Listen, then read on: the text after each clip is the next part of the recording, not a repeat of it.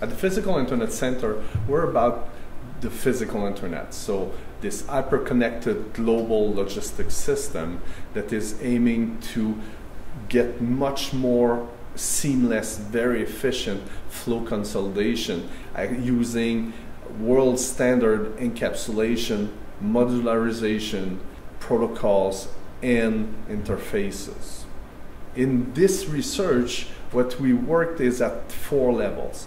First, we work at the conceptual level.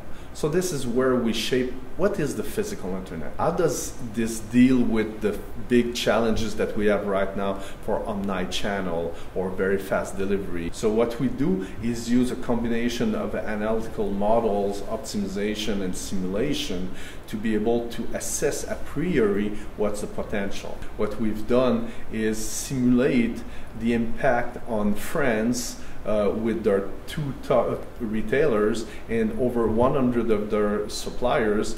And with this, for example, we showed that we would be saving over 30% of all the induced cost. We would be able to reduce the greenhouse gas emission by over 60% while making the life of all the truck drivers in, in uh, across France much, much nicer, getting them home every day and also being able to deliver on time. So this is the kind of, of study that we'll do for assessing the potential.